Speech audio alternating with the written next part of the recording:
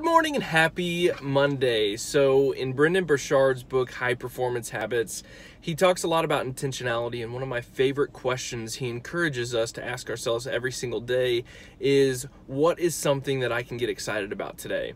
So, I wanted to push that encouragement over to you to ask yourself every single day, every single morning before you start the day, what's something that I can get excited about today and see how that changes your life. So just wanted to encourage you to look at that in your life. Go out and radiate positivity today. Have an awesome Monday, and we'll talk soon.